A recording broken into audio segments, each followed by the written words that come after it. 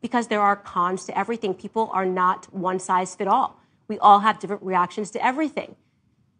If you want to inflate skepticism, then control the narrative some more. Keep using fact checkers some more.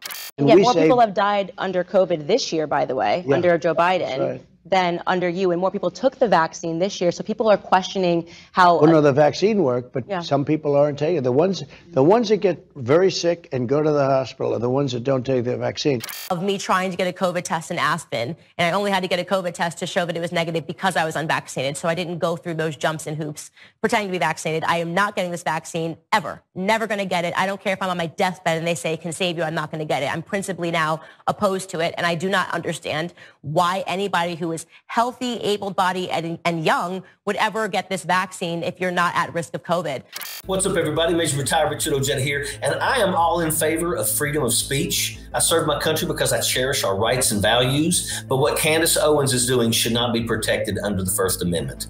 When you intentionally lie, rile up, and brainwash an already ignorant base, there must be consequences. Right now, she is telling anyone that will listen to her that President Biden wants to harm them by restricting life saving medication. And that is the exact opposite of what our president and the FDA are doing. And she knows that. She just doesn't care. Her goal is the more wow the accusations, the more likes, follows, retweets, and shares. That's the end game when it comes to Candace Owens. If you scream fire in a crowded movie theater and a stampede erupts, you're going to be prosecuted.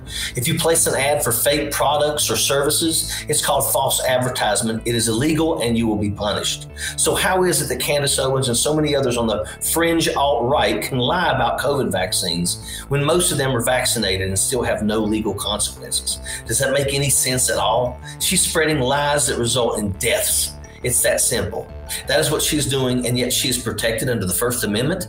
That's pure BS, folks. She needs to be prosecuted and held accountable for her actions. Now, I also want to get this off my chest. If you are not a doctor, a nurse, a pharmacist, a healthcare provider, then it should be illegal to give medical advice. I seriously think about all of the times you see someone talking about financial markets and giving stock advice. If they are not a professional, they have to post it in their profile in big, bold letters. But when it comes to healthcare, we have no rules because that doesn't seem right to me. What do you guys think? Write in the comment section and let me know if you agree with me or if you think I'm off on this one. Now, for the one millionth time, get the damn vaccine and let us get back to our lives. Do not listen to people like Candace Owens, Tucker Carlson, and Jacqueline Joe Rogan. They're not doctors. They get paid to make sure you stay scared and angry.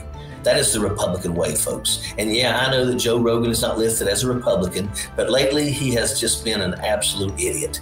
Get the vaccine, folks, and you won't have to worry about taking horse medicine like Candace Owen here wants you to take. Sappers clear the way, airborne all the way.